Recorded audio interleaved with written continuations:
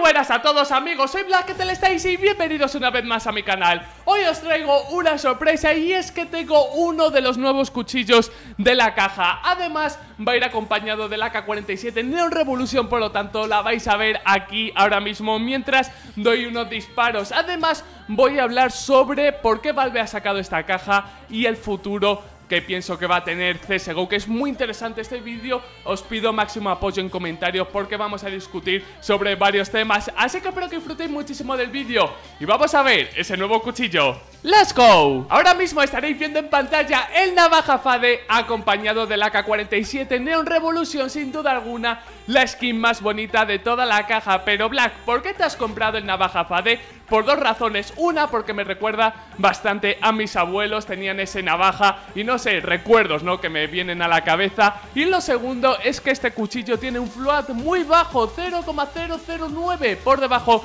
del 1%, por lo tanto no está nada mal. Pero Black, no nos cuentes tu vida, vamos a lo que vamos. Vamos a hablar de los cuchillos. ¿Por qué Valve ha sacado estos cuchillos tan feos? Muchísimo de vosotros compartís esta opinión. De hecho, ahora mismo en pantalla estaréis viendo todos los cuchillos de esta caja. Se salvan muy pocos, de hecho el Talon es el único que está bastante elevado de precio, el resto ya han bajado bastante, de hecho hay cuchillos ya por debajo de los 100 euros y por ahí va eh, lo que voy a decir. ¿Por qué Valve ha sacado estos cuchillos?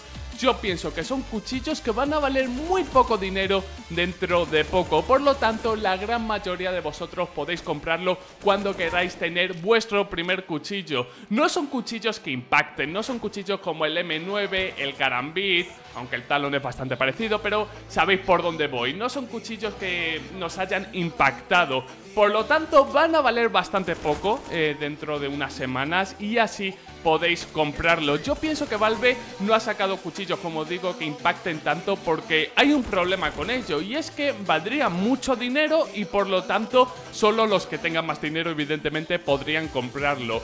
Así que es lo que opino, de hecho no han sacado las skins más bonitas, no está el Doppler, no está el Gamma Doppler, no está el Tiger Tooth, eh, hay muchas skins que son preciosas que hubieran ido muy bien con estos cuchillos y no lo han sacado, yo opino que es por eso, para que en un futuro muy cercano valgan poco dinero y así eh, más gente pueda comprar cuchillos. Decidme si vosotros opináis lo mismo, porque yo pienso que en cuanto a las skins de esta caja no podemos quejarnos. Tenemos una AK que para mí sin duda es de las mejores del juego, un M41S Nightmare que es una auténtica locura. Tenemos también el AWP Pau, tenemos eh, otras skins de pues azules y moradas que no están nada mal. No sé, yo de esta caja, también la Deagle por cierto que os ha gustado mucho, yo opino que es una caja para que todo el mundo en un futuro, como digo, muy cercano pueda comprar esas skins. Decidme vosotros si opináis lo mismo en los comentarios. Si es que creéis o no Valve se está preocupando por la comunidad. Hay una cosa que me ha hecho especial ilusión, lo estaréis viendo ahora mismo en pantalla. Valve promocionando contenido de youtuber de CSGO. Esto no me ha pasado en la vida. De hecho, este youtuber es uno de los mejores sin duda de toda la comunidad. Valve se está fijando en nosotros. Pero sé que mucha gente dice lo siguiente en Black. Si Valve se preocupara por nosotros, uno, pondrían servidores de 128 de tick rate y dos, eh, quitarían esos hacks que nos están molestando tanto. Os voy a contestar a las dos eh, cuestiones.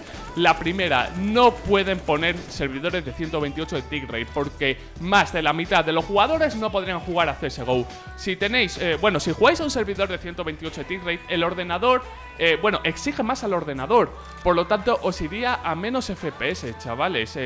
Seamos sinceros, mucha de la gente que juega Counter-Strike no tiene el mejor ordenador del mundo, porque no pide, entre comillas, muchos requisitos, simplemente tira de procesador. Pero como digo, con 128 de tick rate exige demasiado. Por lo tanto, si Valve no ha hecho eso, no sé si es por dinero, pero también esta es una gran razón de peso. La segunda, Valve no está atacando a los hackers. Yo pienso que es mentira. El simple... Eh, bueno, os voy a dar... Ojo, voy a poner pruebas. Ahora mismo estaréis viendo en pantalla las oleadas eh, de baneos que han habido. De hecho, en dos meses han baneado más que en toda su historia. Es una auténtica locura. Sé que muchos de vosotros también me vais a decir, Black, es por el skin changer. Sí, es una de las razones, pero también han baneado a, a, hackers. Por lo tanto, chicos y chicas, se está preocupando por nosotros. Sé que también me vais a decir que la operación debería haber salido hace tiempo. De hecho, el tiempo que llevamos esperando, ese más largo, nunca que nunca ha habido en CSGO. Eh, llevamos más de un año y algo, necesita contenido CSGO. Pero es que Valve, yo pienso que se está preocupando de dos cosas. La primera, la interfaz Panorama aún sigue verde. Hay gente que tiene problemas, hay bugs y por lo tanto se deben centrar en ello. Una vez lo arreglen, ya que saquen la operación. Y lo otro es que no lo sabéis algunos de vosotros, pero estamos a menos de un mes, bueno, a un mes vamos a decir, de que empiece la Major. Por lo tanto, va a venir la actualización con los stickers, la actualización de, toda la interfaz que venga con la Major. Y yo me pregunto lo siguiente, esta Major no va a tener Cobblestone, por lo tanto no nos van a dropear esa caja que vale tantísimo dinero.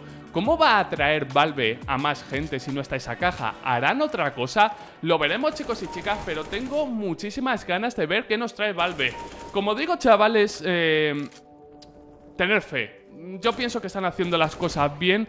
De hecho, Valve va a ir a la Gamescom, yo voy a estar en la Gamescom y ojalá pueda entrevistar a uno de ellos o que me cuente algo sobre CSGO. Lo voy a intentar, como digo, Valve hace años, pero una cantidad increíble de años que no va a este tipo de eventos. Sé que va a promocionar su juego de cartas Artefact, que va a salir dentro de poco, que es sobre Dota 2. Pero no sé, quién sabe, chicos. Yo estoy muy contento con lo que está haciendo Valve este año. Yo pienso que os he traído eh, muy buen contenido y de hecho este vídeo me parece que está bastante bien. Decidme en los comentarios qué opináis sobre todo esto. Si compartís mi opinión, si no lo hacéis, está todas las opiniones son bien bien recibidas. Así que chicos y chicas, esto es lo que quería comentaros en este vídeo. Muchísimas gracias a todos por el apoyo. Como digo, esto es una comunidad. Comentar en los comentarios, ya sea mejor, a peor, lo que queráis. Y os contestaré a la gran mayoría de vosotros o a los que pueda. Así que chicos y chicas, espero de corazón que os haya gustado este vídeo. Y nos vemos mañana con más. Un saludo y hasta la próxima.